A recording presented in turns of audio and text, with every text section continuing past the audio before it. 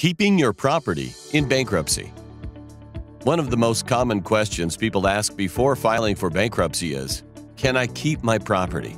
The short answer is that it depends on the type of bankruptcy you file, Chapter 7 or 13, along with the type of property and the value of said property at the time of the bankruptcy.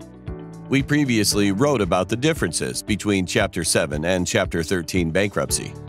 In this article, we will discuss what real or personal property can be kept when filing Chapter 7 or Chapter 13 bankruptcy. Chapter 7 In Chapter 7 bankruptcy, the trustee will sell the property you are unable to exempt and use the proceeds to pay your unsecured debts, such as credit cards and personal loans.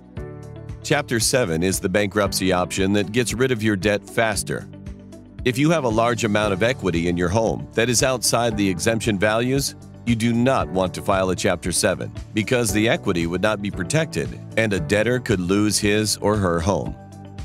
In California, you can keep your home in Chapter 7 bankruptcy under certain circumstances, depending on the amount of equity you have in your principal residence.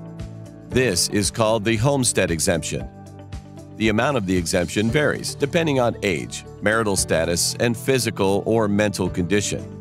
If you're already behind on your mortgage or have significant equity in your home and want to keep your home, Chapter 7 is not for you.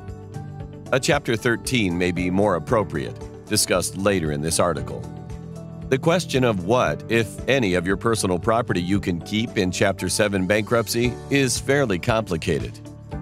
In California, there are two systems and or categories of state-issued bankruptcy exemptions, each with different exemption provisions and limits.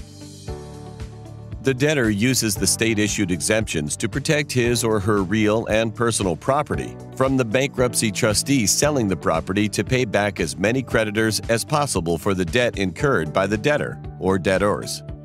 The two exemptions categories fall under California Civil Procedure Code or Codes 703 and 704 et seq.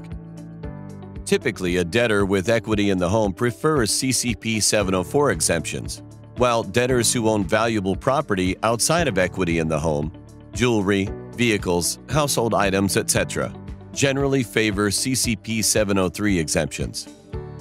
Aside from having two systems, the California Code of Civil Procedure also contains exemptions for building materials, tools of the trade, health aids, and pensions, amongst other categories. Additionally, there are also government code provisions that specifically relate to exemptions for county employees, such as peace officers and firefighters. It is highly recommended that you seek the advice of an experienced bankruptcy attorney to determine what exemptions might apply to you, which systems of exemptions you should claim, and how much you can claim for each exemption.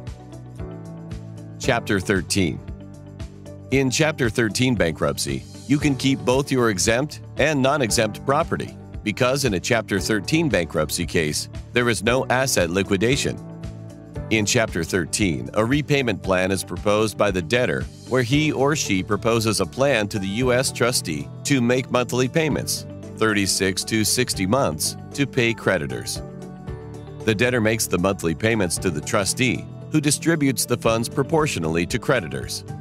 As such, the debtor keeps his or her real and personal property and repays the value owed to your creditors through the three to five year repayment plan. In Chapter 13 bankruptcy, even if you are behind in your mortgage or if the lender has started foreclosure proceedings, it is possible to keep your home. As the debtor, you will propose a three to five year payment plan which includes payment of the past due mortgage. And once a plan is approved, as long as you can keep up with those payments, you'll be able to keep your home. Statistics reveal that approximately half of the debtors are not able to make the payments for the entire time period. So, it is important to be realistic about your ability to make your payments for the entire period of the bankruptcy.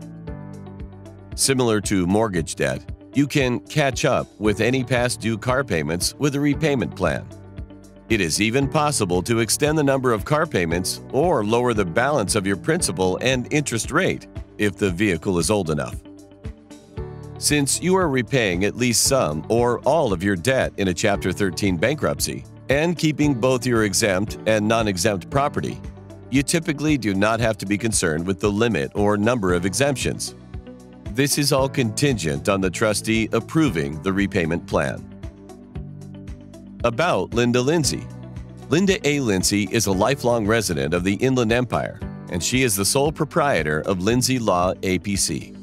She is not only a licensed attorney in the state of California and the United States, Central District Court of California, she also holds an MBA and has over 25 years of successful for profit and nonprofit business experience. She believes that all persons should have access to justice, and even with a busy law practice, she contributes her time and energy at local legal aid agencies. Ms. Lindsay provides legal representation in the areas of family law, bankruptcy, and contracts.